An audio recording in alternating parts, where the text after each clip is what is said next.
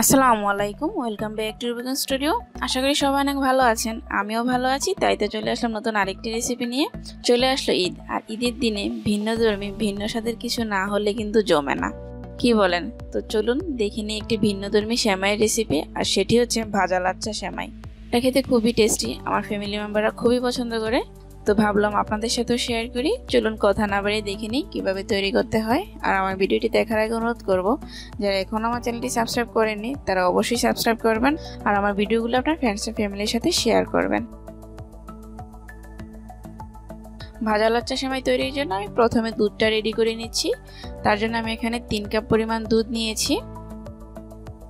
আপনারা আসলে গুঁড়ো দুধ গুলিয়ে ব্যবহার করতে পারেন। দিয়ে দিলে আমি দু টুকরো দারচিনি আর দু তিনটি এলাচ। সামান্য একটু লবণ দিয়ে দিলাম। তবে আপনারা যদি মিষ্টিতে লবণ পছন্দ না করেন, তাহলে সেক্ষেত্রে বাদ দিতে পারেন।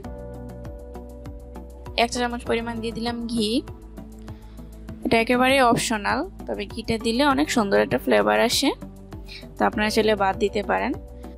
বলক আসার পর আমি দুধটাকে পাঁচ থেকে ছয় মিনিট জাল করব। দুধটা জাল করে কমানোর কোনো প্রয়োজন নেই, জাস্ট সামান্য একটু জাল করে নিলেই হবে।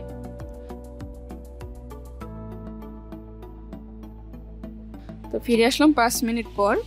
তো দুধটা জাল করা হয়ে গিয়েছে। এবার আমি চুলা থেকে নামিয়ে নিচ্ছি। এখানে আমি আরেকটি কড়াইতে প্রায় দুই টেবিল চামচ পরিমাণ ঘি গরম করে নিলাম। এবার দিয়ে দিচ্ছি আমি শ্যামাই আমি এখানে একশো গ্রাম লাচ্চা শ্যামাই ব্যবহার করছি। আপনারা চাইলে কিন্তু বাজারে যে লম্বাটে পাকিস্তানি শ্যামাইগুলো পাওয়া যায়, সেগুলোও কিন্তু ব্যবহার করতে পারেন। তো এবার এগুলোকে আমি ঘিয়ের সাথে ভালোভাবে নেড়েচেড়ে মিশিয়ে দিচ্ছি।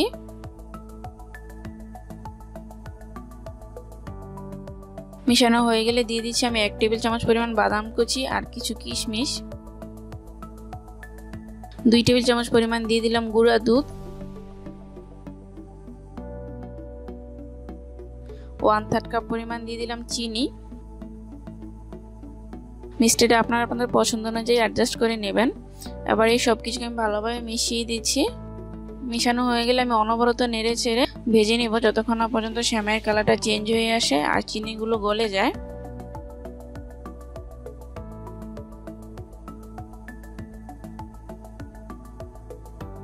এ পর্যায়ে সামাইটা ভাজা হয়ে গিয়েছে। আমি অ্যাড করে দিচ্ছি ওয়ান থার্ড কাপ পরিমাণ নারিকেল গুঁড়া। নারিকেল গুঁড়াটা দিয়ে জাস্ট নেড়ে চেড়ে একটু মিশিয়ে দিলেই হবে। বেশিক্ষণ জাল করার প্রয়োজন নেই। মেশানো হয়ে গিয়েছে, আমি চুলা থেকে নামিয়ে নিচ্ছি। আর আমরা যে দুধটা তৈরি করে রেখেছিলাম, সেটা কিন্তু সামান্য ঠান্ডা করে নিতে হবে। একেবারে গরম গরম কিন্তু শ্যামের সাথে মেশানো যাবে না। কারণ লাচ্চা শ্যামা অনেক নরম হয়, তাহলে কিন্তু একেবারে গলে যেতে পারে। তো যে দুধটা তৈরি করেছিলাম, সেই দুধটা এই শ্যামাইয়ের উপরে দিয়ে দিচ্ছি। দুধটা দেওয়া হয়ে গেলে আমি পাঁচ মিনিটের জন্য ঢাকনা দিয়ে ঢেকে দিব। তারপর আমি সার্ভিং ডিশে তুলে সার্ভ করে নিব। এরই মাঝে শ্যামাই আর দুধ একদম ভালোভাবে মিশে যাবে। তো তৈরি হয়ে গেলে অনেক মজাদার স্পেশাল ভাজা লাচ্চা শ্যামাই আসছে ঈদে অবশ্যই বাসায় তৈরি করুন। আর বাসায় তৈরি করে কেমন হলো আমার কমেন্ট বক্সে কমেন্ট করে জানাবেন। আজকে তাহলে এ পর্যন্তই। আপনারা সবাই অনেক ভালো থাকবেন। আমার ফ্যামিলির জন্য দোয়া করবেন। সবাইকে অগ্রিম ঈদের শুভেচ্ছা জানাচ্ছি। আল্লাহ হাফেজ।